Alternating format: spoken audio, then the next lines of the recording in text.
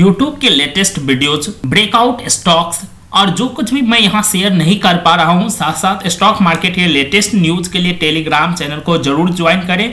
Link video के description में है। साथ ही साथ आप टेलीग्राम पे स्टॉक बाज़ार ओरिजिनल सर्च करें और इस तरह का कुछ आइकन दिखेगा, उसे ज्वाइन कर लें। नमस्कार दोस्तों, आपका बहुत बहुत स्वागत है आपके अपने चैनल स्टॉक्स बाज़ार में। इस वीडियो हम बात करेंगे बैंक निफ्टी क्यों अंडर परफॉर्म कर रहा है, जबकि निफ्टी हमारा काफ़ी ज़्यादा आउट परफॉर्म कर रहा है। तो निफ्टी यहाँ पर देखिए आउट परफॉर्म करते जा रहा है और निफ्टी पूरी तरह से बुलिस है, जबकि बैंक निफ्टी हमारा पूरी तरह से साइडवेज है अभी। बैंक निफ्टी अपना हाई फरवरी में ही लगाया है, जबकि निफ्टी भी फरवरी में एक हाई लगाया था, उसके बाद कंसोलिडेट हुआ। लेकिन निफ्टी फरवरी की हाई को बहुत जल्द ही क्रॉस कर लिया, जबकि बैंक निफ्टी अभी भी अंडर परफॉर्म कर रहा है। अगर बात करें बैंक निफ्टी का तो देखिए बैंक निफ्टी का जो अंडर परफॉर्म करने का मुख्य कारण है क्योंकि जो बैंकिंग सेक्टर है, उस पे लॉकडाउन का असर ज़्यादा पड़ा है।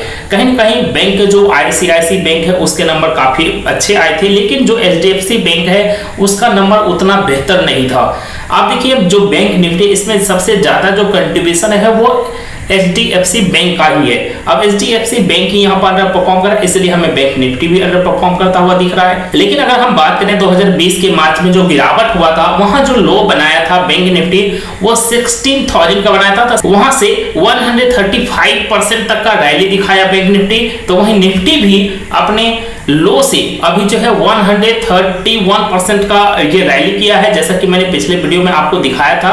ये जो परसेंटेज है अगर आप यहाँ पर कैलकुलेट करेंगे तो जो निफ्टी है वो भी अप्रोक्स उतना ही है जितना कि अपने लो से बैंक निफ्टी रिकवर किया। देखिए यहाँ पर तो 131 परसेंट तो 131 परसेंट यहाँ पर निफ्टी रैली किया है। तो बैंक निफ्टी ऑलरेडी बहुत ही पहले ही 135 परसेंट तक का यह रैली कर चुका है। इसका एक मुख्य कारण यह है कि निफ्टी से बैंक निफ्टी में ज़्यादा गिरावट देखने मिला था पैंडेमिक में। तो यहाँ से बैंक निफ्टी काफ़ी जल्द 135 परसेंट का रैली किया, जबकि निफ्टी बाद में 131 परसेंट का अभी रैली किया है। लेकिन यहाँ पर देखा गया है कि पिछले कुछ समय से निफ्टी लगातार यहाँ पर परफॉर्म कर रहा है, जबकि बैंक निफ्टी परफॉर्म नहीं कर रहा है। बैंक निफ्टी पूरी तरह से साइडवेज है, जबकि निफ्टी यहाँ पर देखिए लगातार न्यू हाई क्रिएट कर रहा है। तो उसका कारण है कि निफ्टी जो है आईटी सेक्टर और एफएमसीजी सेक्टर में ज़बरदस्त तेज़ी के कारण परफॉर्म कर रहा है और बैंक निफ्टी जो है अपने स्टॉक्स एचडीएफसी बैंक उधर और हो गया Axis bank Indus bank Kotak bank इसके परफॉर्म नहीं करने के कारण अभी तक परफॉर्म नहीं कर पाया है। जबकि आईसीसी बैंक के नंबर काफ़ी अच्छे आए थे तो आईसीसी बैंक थोड़ा बहुत तो स्ट्रॉन्ग है, जबकि और सारे बैंक काफ़ी ज़्यादा वीक है मतलब साइडवेज चल रहा है। इसलिए अभी तक बैंक निफ्टी जो है आउट परफॉर्म नहीं कर पाया है। तो जो बैंकिंग सेक्टर के स्टॉक है, अभी भी आपको काफ़ी अंडर वैल्यूड प्राइस में मिल रहे हैं और किसी करेक्शन में मिलता है तो निश्चित रूप से आप बैंक निफ्टी के स्टॉक्स को बाय कर सकते हैं। तो जैसे बैंक निफ्टी यहाँ पर सैंतीस को क्रॉस करता है तो फिर यहाँ पर एक ज़बरदस्त ब्रेकआउट होगा और फिर यहाँ पर बैंक निफ्टी एकदम स्ट्रॉन्ग रूप से बुलिस हो जाएगा। तो जैसा कि अभी पैटर्न जो बन रहा है, अभी भी बैंक निफ्टी का पैटर्न बुलिस ही है। यहाँ पर अपना फरवरी में हाई लगाने के बाद काफ़ी अच्छा गिरावट इसमें देखने मिला। लगभग यहाँ पर 700 पॉइंट्स का गिरावट था। उस गिरावट के बाद काफ़ी अच्छा पैटर्न बनाया और ये पैटर्न पूरी तरह से बुलिस मूवमेंटम वाला है। यहाँ पर जैसे ही अपने रेसिस्टेंस को ब्रेक करता है, जो कि है सैंतीस ऑल टाइम हाई का रेसिस्टेंस तो एक ज़बरदस्त तेज़ी हमें बैंक निफ्टी में देखने मिलेगा। तो ये बात करें एच बैंक का। एच बैंक अभी भी अपने ऑल टाइम हाई सोलह सौ बयालीस रुपए से काफ़ी नीचे ट्रेड कर है। तो जैसे ही ये यहाँ पर ब्रेकआउट देता है मतलब अपने ऑल टाइम हाई को ब्रेक करता है, निश्चित रूप से एक ज़बरदस्त तेज देखने मिलेगा। और यहाँ पर जब ये ब्रेकआउट करेगा तो यहाँ पर जो हमारा टारगेट होगा, जब ये ब्रेकआउट करेगा तो यहाँ पर जो हमारा टारगेट होगा, वो होगा टू थाउज़ेंड का। तो समझ यहाँ से अभी इसको कम से कम 500 पॉइंट्स 400 पॉइंट्स एचडीएफसी बैंक को ऊपर जाना है। तो ये अकेला एक स्टॉक है जो कि बैंक निफ्टी को भी ऊपर ले जाएगा।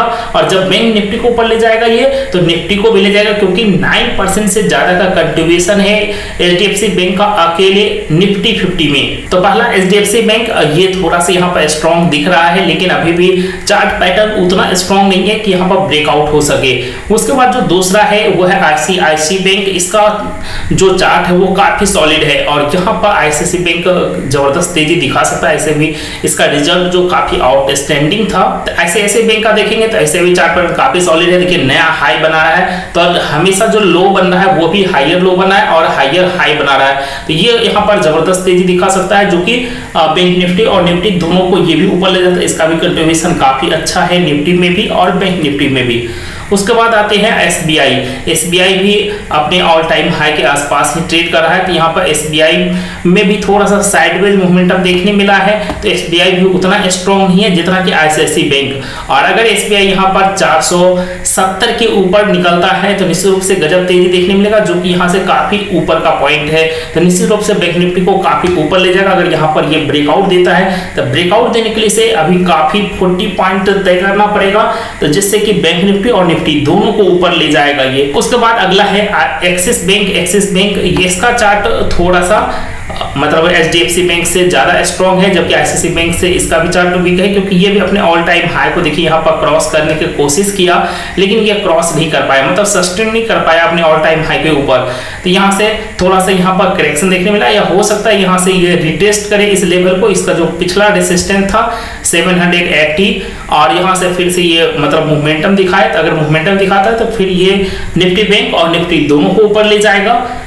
फिर बात करते हैं कोटक बैंक का। कोटक बैंक काफ़ी ज़्यादा वीक है। ये तो जितने भी बैंक आपने देखा H D F C bank ICICI bank Axis bank सबसे ज़्यादा वीक चार्ट कोटक बैंक का है। तो कोटक बैंक में अभी यहाँ पर स्ट्रॉन्ग रेसिस्टेंस जो है, वो है 1840 का।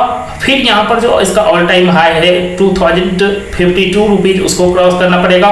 तो H D F C bank chart पे काफ़ी वीक है, लेकिन रिसेंट टाइम में यहाँ जो पैटर्न बना है, वो बुलिस पैटर्न बना है। यहाँ पर हो सकता है कि ये ब्रेकआउट हमें देखने मिले। तो कई सारे बैंकिंग सेक्टर के जो स्टॉक है, अपने रेसिस्टेंस के पास है। अगर रेसिस्टेंस को ब्रेक करता है, जैसे H D F C bank हो गया एक्सिस बैंक हो गया एसबीआई हो गया कोटक तो ये सारे स्टॉक जब चलेंगे तो निफ्टी और निफ्टी बैंक दोनों को ऊपर लेकर जाएँगे। फिर उसके बाद आता है इंडसइंड बैंक। ये देखिए इंडसइंड बैंक इंडसइंड बैंक भी ये चार्ट काफ़ी वीक है, पूरी तरह से यहाँ साइडवेज है। इसे भी अभी कई सारे रेसिस्टेंस को ब्रेक करना है। तो सबसे पहला जो है one thousand one thousand thirty के ऊपर सस्टेन करता है। तो फिर यहाँ पर जो एक स्ट्रॉन्ग रेसिस्टेंस बन के आएगा, वो है 1120 का। अगर यहाँ तक भी ये जर्नी तय करता है, निश्चित रूप से ये निफ्टी बैंक और निफ्टी को ऊपर ले जाने में काफ़ी कुछ हेल्प करेंगे।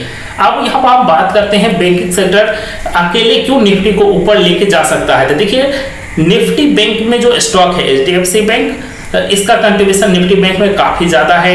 22 25 परसेंट के आसपास अकेले है। तो निफ्टी में भी देखिए यहाँ पर 9.29 परसेंट अकेले है एच बैंक।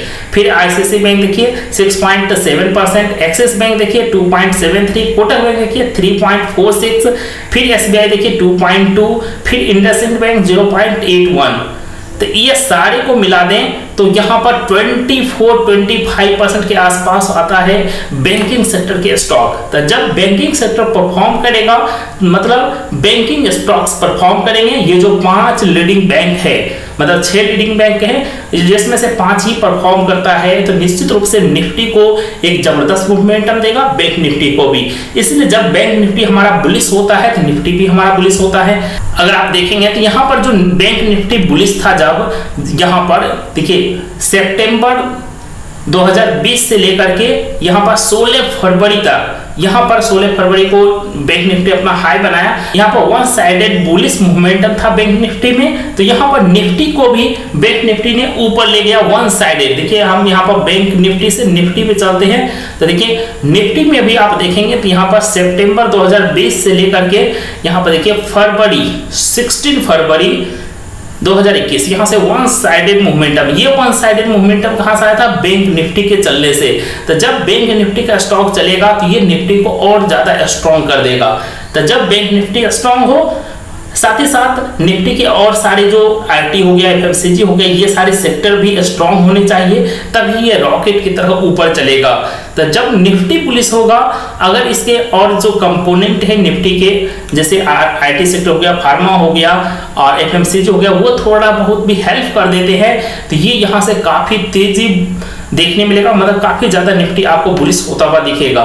तो यहाँ पर होता है कि अगर निफ्टी हमारा बुलिस होता है मतलब मार्केट बुलिस होता है तो आप स्टॉक स्पेसिफिक हो जाइए। कई सारे स्टॉक्स यहाँ से अगर यहाँ मोमेंटम होता है तो आपको डबल ट्रिपल होते हुए देखने मिलेंगे। फिर से अगर बैंकिंग सेक्टर चल पड़ता है तो। तो निफ्टी और बैंक निफ्टी में काफ़ी स्ट्रॉन्ग रिलेशन है। जब जब बैंक निफ्टी परफॉर्म करेगा तो निफ्टी के जो भी आईटी फार्मा और एफएमसीजी है, थोड़ा बहुत भी हेल्प करेंगे तो निफ्टी बैंक निफ्टी से काफ़ी ज़्यादा बेटर परफॉर्म करेगा।